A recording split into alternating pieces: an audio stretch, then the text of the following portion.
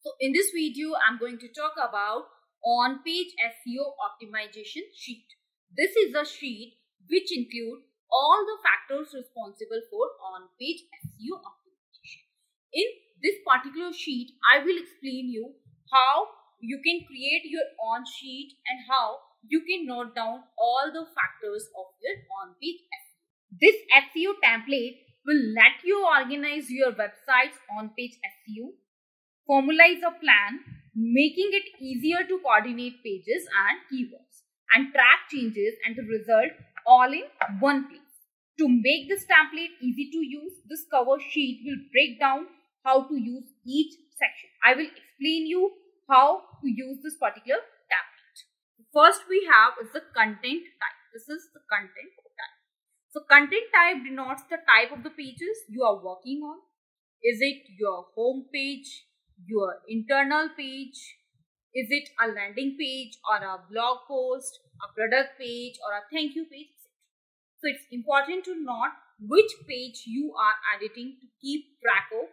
Now how the edits related to the overall mission of the pages, you have to decide that. You have to note down all the pages here.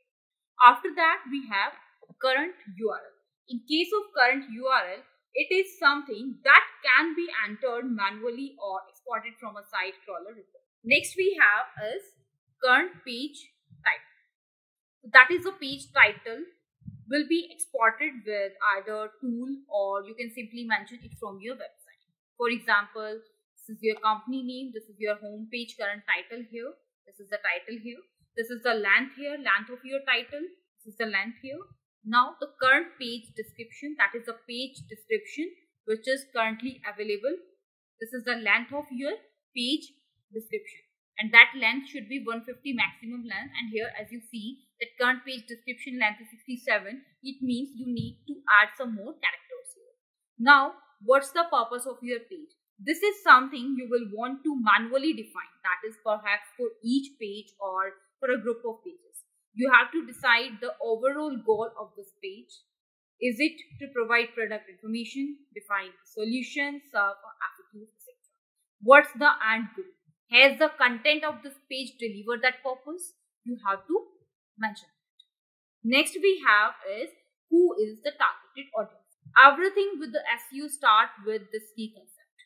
Your targeted audience or buyer persona, as it's mentioned called, is the one for whom you are writing your content. If you do not know who you are writing for your content, will be aimless. So clearly define which persona type a page targets. Then you have added date. Make a manual note each time you edit a particular page. In the end, you cannot edit all the pages at once. So it will be good to note when changes occur, especially, especially if you have to report progress back to someone, like your boss or your client. Next we have is the new page title. This is where the planning start. That is the new page. Means manually note or plan what you want your new page title to be for a particular page. Best practice for the page title is keyword. Keyword variation. See example that is internet marketing software product name and time and this is the length of your page title here then we have new page description that is you have to enter your new page description this should be a short declarative sentence that incorporates your keyword as you lay it out in your page title in sub. it should not have the content variation as you have it on the this is the length of your description. The length columns will make you sure that you adhere to 13 characters limit and this will automatically be calculated for you. And this recommended length of the page description is 150 characters. Next we have target keyword. Think of your target keyword as the designated topic for a particular page. Define one topic only per page. This allow you to go more into depth and provide detailed information. This means that you are also you are also only optimized for one keyword per page. There are a few exceptions to the rule. For instance, your homepage, the goal of your homepage is to explain what your entire website or the business is about and thus you will need a few, that is uh, typically four, to do that. Overview pages like your product page, which outline what all of your products may be, may also be optimized for a few keywords. Ultimately, this is the best interest of your readers or your audience because you are helping to explain content and text. Next we have is the content. That is your content need to be thoughtful, clear and provide solutions. Again, write for your targeted audience. How can you help them? Compiling content is also error free. Check spellings and grammar. Aims to have at least 500 words per page. Format content to make it easier to read and digest. Next we have header. The use of headers as formatting help make content easier to read and digest. It provides visual cues to your readers and search engine. Typically, the very first header is a H1 on a page. That is not always the case, not necessary as long as you have clearly defined the purpose of the page somewhere at the top. Next, we have subheaders. Subheaders serve the same purpose as headers, only to break up the content visually further into smaller bite size. Next, we have images. Another great visual cue to your readers is an image. An image on your page, especially for your blog post, is a great anchor and draw to your content. Have the image be relevant and related to your content and large enough to draw interest. Be sure to the name and the image file appropriately. The same rule applies name it with the keywords and provide context. Then again for your alt text, your anchor text that is your internal linking.